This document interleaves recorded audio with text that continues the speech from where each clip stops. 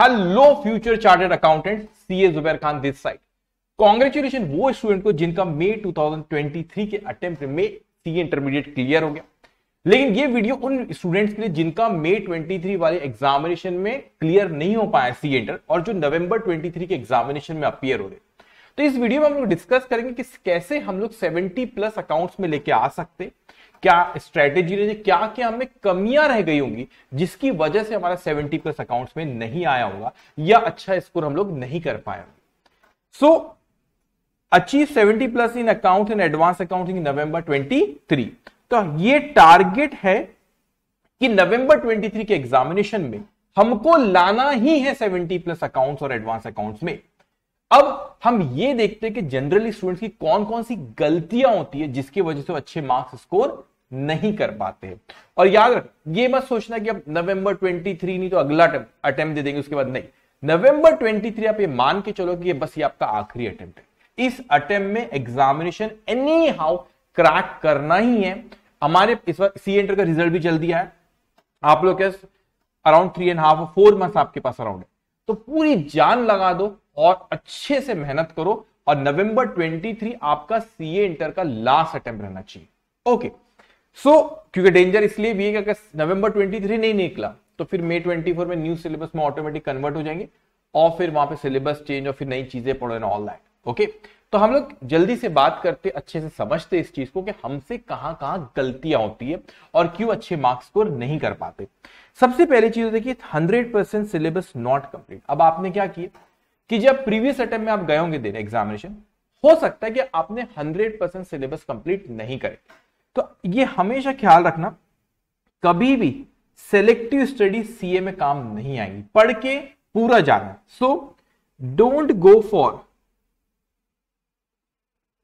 selective study आप ये चीज मत करा करो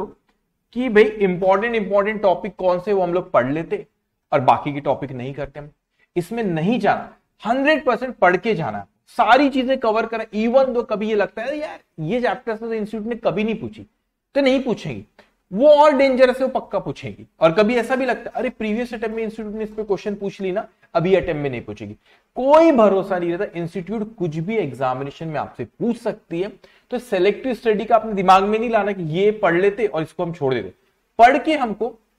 सारी चीज जान और कंसेप्चुअली सारी चीजों को अच्छे से समझना है और हंड्रेड परसेंट सिलेबस को पढ़ के जान सेकेंड चीज अब कहां गलती हम लोग करते सेकेंड चीज जो है आप लोग की that is lack of practice हम लोग प्रैक्टिस नहीं करते अब प्रैक्टिस देखो ये इंप्लाइड होता है बोलने की जरूरत भी नहीं रहना चाहिए कि आपने आईसीआई के स्टडी मटेरियल के सारे क्वेश्चंस करे हो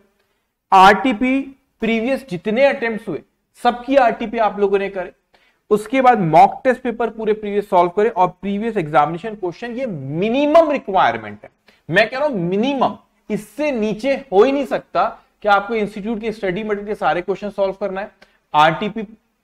पूरी करना है प्रीवियस अटेम्प की mock test paper previous examination question ये मैं मिनिमम कह रहा हूं इसके अलावा भी और क्वेश्चन करना है आपको लेकिन ये मिनिमम है और अब क्या करते हैं हम लोग सिलेक्टिव तो एक तो पूरा हंड्रेड परसेंट सिलेबस कंप्लीट करें और फिर हम सिलेक्टिव हाँ, ये आप कह सकते हो कि कौन सा चैप्टर इंपॉर्टेंट है कौन सा कम इंपॉर्टेंट है किस कॉन्टेक्स्ट में क्योंकि एग्जामिनेशन में कौन से चैप्टर से ज्यादा मार्क्स के लाए तो उसका ज्यादा रिविजन करो लेकिन पढ़ के तो पूरा जा रहा और प्रैक्टिस भी आपको करना है ये मिनिमम इसके सारे क्वेश्चन आपके सॉल्व होना चाहिए सो so, अब जो भी मटेरियल यूज करो आपने जो भी फैकल्टी से पढ़े बेटा ये चीज जरूर ख्याल रखना कि आप जब नवंबर 23 की एग्जामिनेशन देने जाएंगे तो आपने ये सारी की सारी चीजें वहां पे आपने कवर करे आपने इंस्टीट्यूट की स्टडी मेटर के सारे question RTP mock test paper previous examination question और आपके अटेम्प्ट की भी जो आरटीपी और मॉक टेस्ट पेपर है वो जरूर आपको करना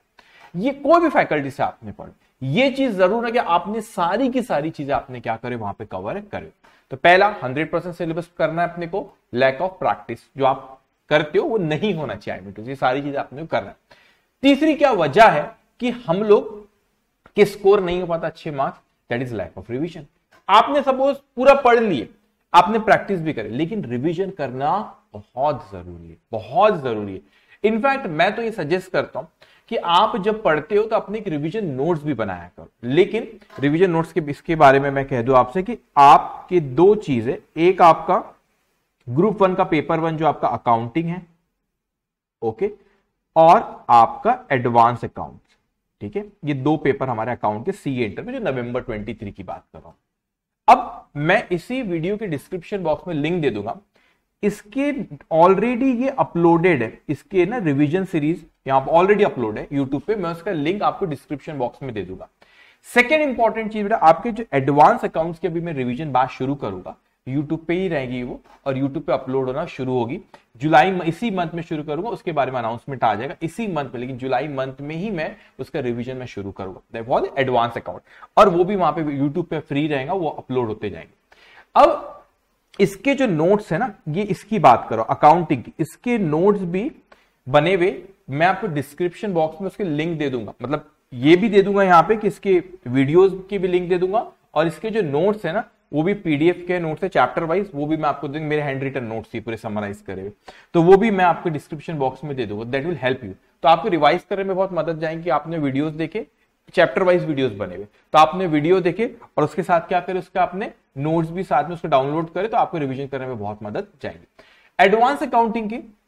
अब इसकी भी मैं रिविजन अभी शुरू करूंगा वीडियोस अपलोड करूँ उसके भी नोट्स मैं आपको दू ओके okay, तो रिवीजन करना बहुत जरूरी क्योंकि अब लैक ऑफ रिवीजन हम लोग रिवीजन नहीं करते उसकी वजह से दिक्कत होती है आपने रिवीजन भी उसका होना चाहिए और एक बार आपको समराइज करके कोई आपने वीडियोस का देख लिए समराइज से कि कंसेप्ट उसमें पूरे कवर करे तो आपने एक एक वीडियो चैप्टर वाइज वीडियोस बने हुए तो एडवांस अकाउंटिंग मोस्ट प्रॉब्लम ऐसे ही बनाऊंगा चैप्टर वाइज बनाऊंगा और उस वीडियो में सारे कंसेप्ट उस चैप्टर के कवर कर लेते और साथ में उसके नोट्स भी मिल जाएंगे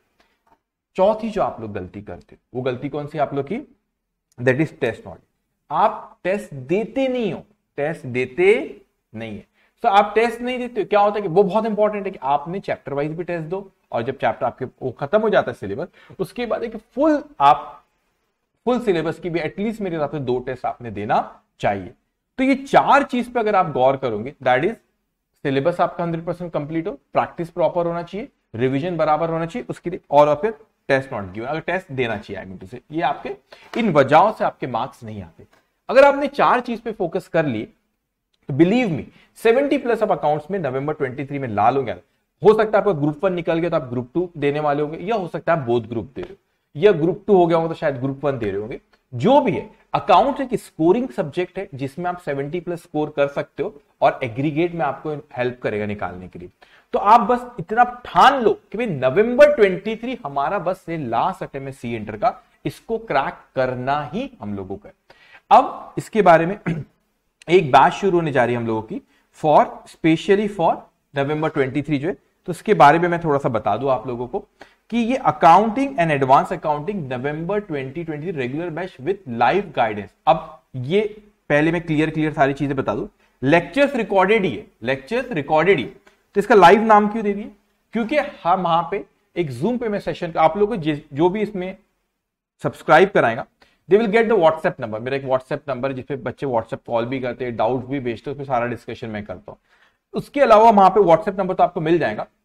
उसमें ग्रुप क्रिएट एक ग्रुप है उसमें भी आपको ऐड कर दिया जाएगा और मैं एक जूम पे सेशन लेगी वहां पर भी मैं आपको पूछते जाऊंगा अभी प्लानर पे मैं आता हूँ क्या चीज है प्लानर और आपने प्लानर जो आपको दूंगा मैं उसके हिसाब से आप लोग पढ़ रहे हो क्या ओके तो वहां पे डिस्कशन होंगे डाउट्स होंगे सारे पूछते जाओगे आप मुझसे और व्हाट्सएप पे भी पूछ सकते हैं व्हाट्सएप कॉल भी स्टूडेंट्स के आते तो यहाँ पे लाइव गाइडेंस बैच मतलब जूम सेशन होगा वहां पे मैं आपसे मिलूंगा और वन टू वन में आपके डाउट सॉल्व करते जाऊंगा जो कि शुरू हुई फोर्टीन ऑफ जुलाई से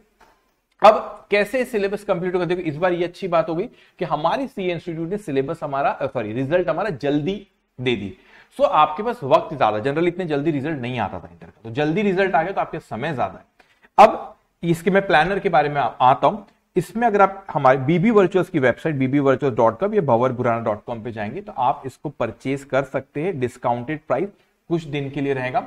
और उसके बाद फिर वो जो एक्चुअल प्राइस उस पर आ जाएगा तो मैं पहले कह रहा हूं क्योंकि कंपल्शन नहीं है आपके प्रोडक्ट ले रहा है जरूरी नहीं कि आप ये प्रोडक्ट लो अगर आपको लगता है कि नहीं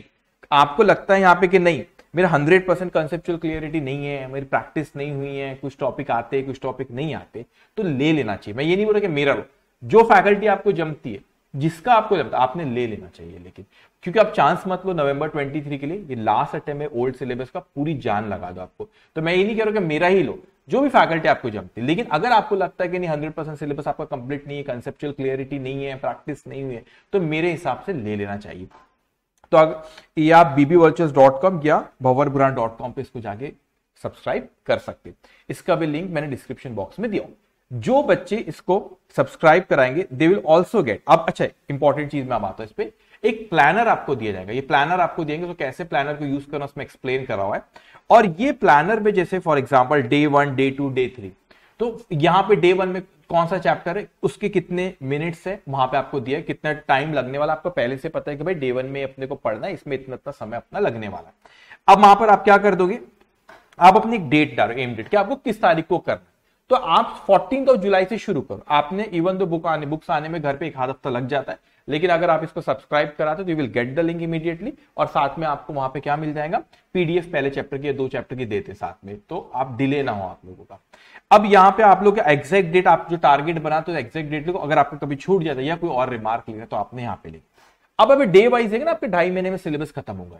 तो अब उसके बाद आपने यहाँ पे यहाँ पे उसके हर चीज हो जाएगी अब इसमें क्या हुआ कि आपने चैप्टर करना शुरू करें उसके साथ में आपको डेली होमवर्क दी जाती है तो उसमें प्रैक्टिस क्वेश्चन भी बुक में रहते हैं उसके सोल्यूशन भी आपको अलग से पीडीएफ में दिए जाते हैं वो इंटेंशनली पीडीएफ में देता हूँ ताकि फिर बच्चों को आदत रहती नीचे आंसर दे दो तो फिर चेक करते ऑडिट करते कि सर ने बराबर सॉल्व करे तो क्लास के क्वेश्चन तो वीडियो में सॉल्व करूंगा प्रैक्टिस क्वेश्चन के क्वेश्चन देते सोल्यूशन अलग से दिया जाता कि बच्चा इमीडिएटली वहीं पे नहीं देते क्योंकि बच्चे की आदत रहती फिर नीचे चेक करना शुरू कर देता इसलिए ओके अब क्या होगा कि आपने सपोज ये पहला अपना चैप्टर यहाँ पे खत्म करे अभी पहला चैप्टर जैसे ही खत्म होता है टेस्ट वन आप लोग दैट इज इंश्योरेंस आपने यहाँ पे दी इंश्योरेंस क्लेम का आपकी टेस्ट होगी अब इसको कैसा होगा अभी क्या मैं हर वीक तो आपको मिलूंगा आपको मेरा व्हाट्सएप नंबर भी मिलेगा और उसके साथ क्या होगा ये जो पहला टेस्ट आपने इंश्योरेंस क्लेम दिया अब इसके मैं वीडियोस अपलोड करते रहूंगा वो भी आपको वही लिंक पे वहां पे टेस्ट करके रहेंगे उसी में आपको test number one insurance claim तो उसके साथ एक वीडियो आएगा वीडियो पहले नहीं देखना आपने आपको पहले क्वेश्चन पेपर सॉल्व करना रहेगा उसमें आपने सॉल्व कर वीडियो में मैंने एक्सप्लेन क्वेश्चन पेपर पूरा मैं डिस्कस करूंगा कि इसमें ऐसा ऐसा करना था आपने ऐसा ऐसा सॉल्व करना था स्टेप वाइज मार्किंग बताओ ये स्टेप पे इतने इतने मार्क्स आपको मिलना चाहिए देना है और जहां आपने गलती करे वहां इतने इतने मार्क्स काटना चाहिए तो ये सारे चैप्टर के पहला चैप्टर हुआ फिर आपने दूसरा करे उसकी फिर टेस्ट होगी तो आपको इसी शेड्यूल से चलना है इसी शेड्यूल से चलना है यहाँ पे ये खत्म हुआ तो उसके बाद अपन ने यहाँ पे टेस्ट दिए फिर यहाँ पे शुरू इसी शेड्यूल जहां पे आपको बोला कि टेस्ट है बस आपने को वहीं पे जाके वहां पे आपको लिंक दे दी जाएगी उसमें टेस्ट के सारे क्वेश्चन पेपर है वीडियो मेरे अपलोड होते जाएंगे तो वीडियो में एक्सप्लेन करूंगा आपको कि टेस्ट जो आपने दिए कैसे स्टेप मार्किंग आपको देना और जहां गलती करे कैसे मार्क तो आपको ये पता चलेगा कहां गलती हम लोग कर रहे हैं सो so,